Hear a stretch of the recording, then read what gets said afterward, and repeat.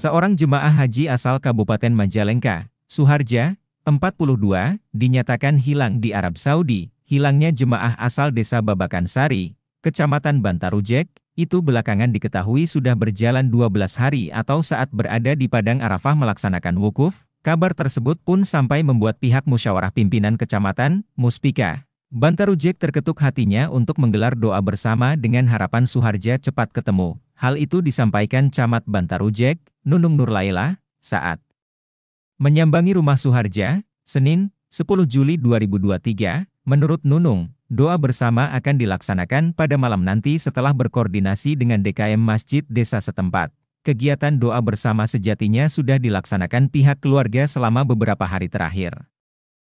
Namun, demi ditemukannya jemaah haji tersebut, kegiatan doa bersama akan digelar dalam lingkup yang lebih besar. Di samping itu, kedatangannya ke rumah Suharja sendiri, kata Nunung, untuk memberikan semangat moral agar pihak keluarga diberi ketabahan. Selain itu, mendengar cerita langsung soal sosok Suharja di mata keluarga. Diberitakan sebelumnya, Kementerian Agama, Kemenak, Majalengka membenarkan ada warganya yang hilang di Arab Saudi hingga kini belum ditemukan, Kepala Kemenak.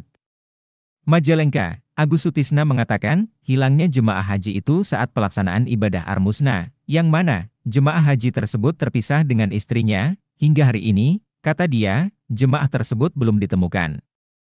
Sementara, pihaknya terus berkoordinasi dengan panitia penyelenggara ibadah haji, PPIH, Arab Saudi, pihak berwenang dalam kasus tersebut, Agus berharap, jemaah itu cepat ditemukan dalam kondisi sehat.